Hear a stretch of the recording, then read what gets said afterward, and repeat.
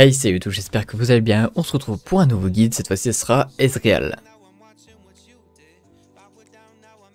Il est un peu différent de tous les ADC, mais on va parler tout simplement des runes en premier. Bon, contrairement à pas mal d'ADC, il y a beaucoup de runes, beaucoup de builds, plein de trucs différents sur Ezreal qui peut marcher, mais les plus utilisés vont être attaque soutenue, conquérant et premier coup. On va plus avoir tendance à jouer attaque soutenue, conquérant quand on est vraiment bon, quand on joue avec la team avec des longs fights, etc. Le premier coup, bah, c'est juste pour faire un peu plus de dégâts sur des mono-cibles, sur des courtes raids. Et moi, je vous conseille attaque soutenue. Donc les runes se présentent comme ça, avec cookies, etc.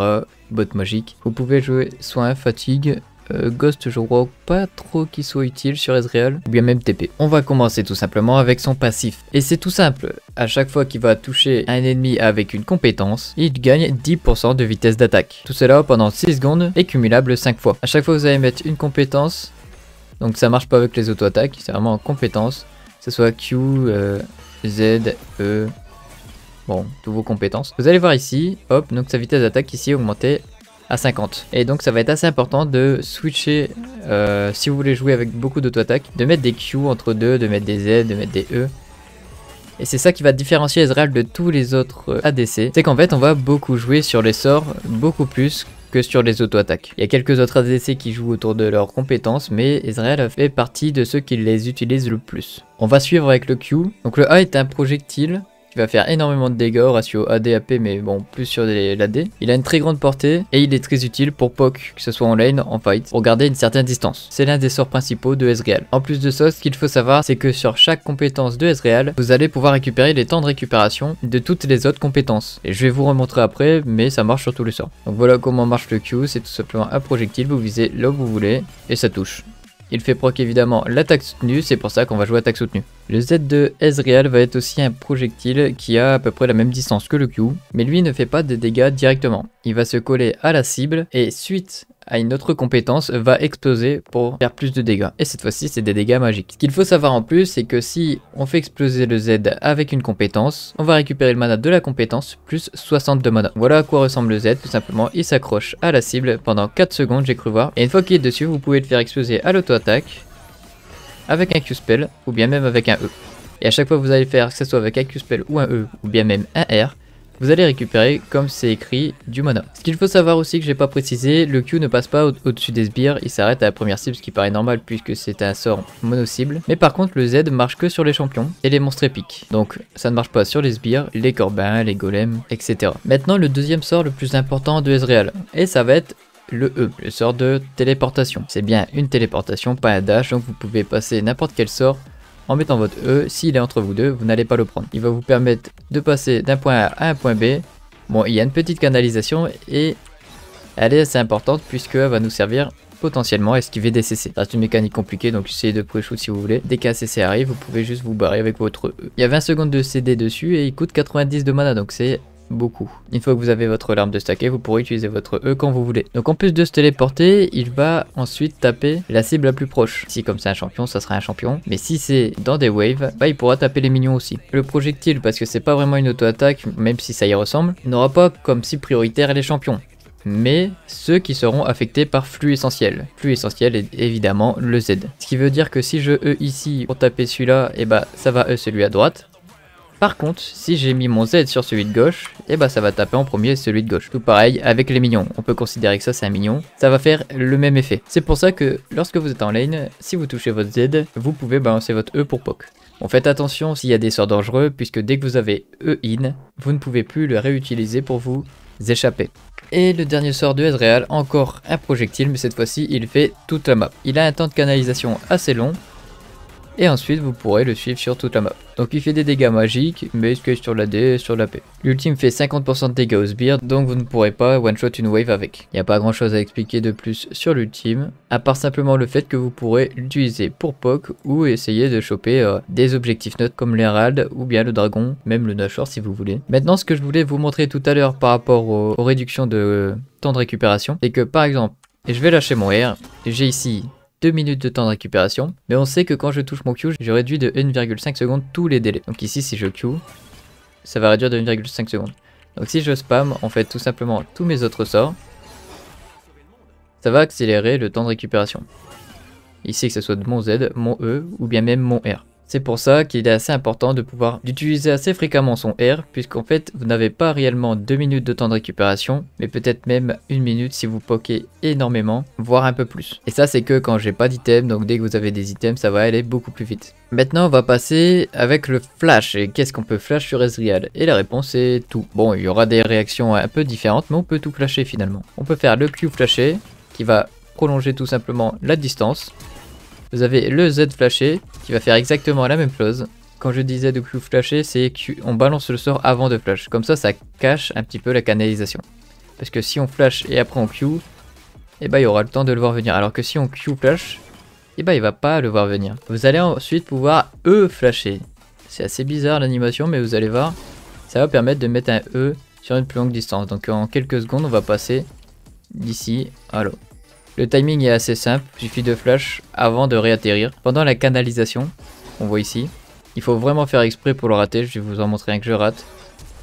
Vous allez voir ici, bah j'ai pas à taper puisque j'ai attendu de réatterrir avant de flash. Et comme en plus vous avez vraiment pas besoin de viser, c'est pas très compliqué. On va maintenant parler du R. On peut flasher de R mais ça va pas changer sa direction ni son point de départ. Tout simplement ça va cacher votre direction, euh, le cast du R et pouvoir bait un peu vos ennemis. Ça fait un peu la même chose que sur Caitlyn. Ça va changer la direction de votre personnage. Et donc il pourra être un peu bait et pas savoir dans quelle direction balancer votre R. Maintenant les combos d'Ezreal, bah, ça va être d'enchaîner le plus possible vos sorts. Sachant que le Z a plus de dés de récupération, essayez de l'utiliser en premier. Et s'il touche, bah suivez avec vos autres sorts. S'il touche pas, ne l'utilisez pas si vous êtes en dehors d'un fight. Si vous voulez pas, vous pouvez juste tout simplement utiliser votre Q. Ou bien si vous avez la possibilité, faites un ZE dans une wave suivi d'un Q et d'une auto si vous voulez. Mais tout simplement, le ZQ est très très efficace. Si vous voulez faire vraiment le plus efficace euh, en termes de POC, parce qu'en fait sur Ezreal, tant que vous n'êtes pas feed ou bien devant ou quelqu'un est low, c'est pour ça qu'on fait un travail de POC, on va faire ça sur plusieurs étapes. La première étape, vous allez tout simplement ZE, hop, taper et vous barrer. Tout simplement, vous pourrez pas faire beaucoup plus. Peut-être mettre mettre un Q, mais encore. Puisqu'après ça, bah, il aura déjà reculé ou essayera de vous trade. Et dès que vous avez fait votre Z, vous n'allez pas avoir de gros dégâts si vous ratez votre Q. Et c'est assez difficile de toucher à tous les coups un Q sur Ezreal. Surtout en wave, surtout en phase de lane. Donc l'idée c'est de faire ça une, deux fois, et dès qu'ils sont assez low, bah vous pouvez tout simplement all-in, même sans lâcher le, le Z forcément, ou en E-in instantanément. Chercher à mettre des auto-attaques, tout simplement et mettez vos Q si vous avez vraiment la possibilité de les toucher. Quand on débute sur Ezreal, on va tout le temps essayer de toucher les Q à tout prix, alors que les auto-attaques sont très fortes. Même si on est au courant que le Q fait plus de dégâts, ça reste très dur à toucher, puisque quelqu'un qui joue contre Ezreal va tout faire pour pas les prendre en fait. Donc si vous avez un support à CC, bah essayez de vous aligner pour faire en sorte de pouvoir toucher votre Q dès qu'il est CC. Ce qui est aussi important, ça va être de mettre des auto-attaques entre vos combos. Par exemple ici je vais faire ZE, et ensuite je vais mettre une auto-attaque et chercher un Q. Bon ça n'a pas suffi pour mettre... Euh, L'attaque soutenue, mais c'est surtout pour ça, pour essayer de mettre l'attaque soutenue, proc l'attaque soutenue et mettre des dégâts en plus. Puisque les auto-attaques sont assez sous-estimées sur Ezreal et on peut toujours les mettre par-ci par-là. Et ça permet aussi de un peu reset et de faire quelque chose pendant vos, vos compétences. En faisant cela, vous pourrez tout simplement proc l'attaque soutenue. Et une fois que vous avez fait ça, vous pouvez vous en aller. Bon, maintenant on va parler du starter. On peut tout simplement commencer avec la lame de Doran, comme tous les ADC, épée longue, ou bien une larme de DS comme je vous ai dit tout à l'heure. La larme de DS est quasiment tout le temps achetée par les joueurs d'Ezreal, mais pas forcément en premier. Si vous voulez vous battre en early avec un support qui est plutôt agressif, vous allez chercher une épée longue ou bien une lame de Doran. A votre préférence, si vous voulez avoir plus de régène, prenez des popos avec une épée longue.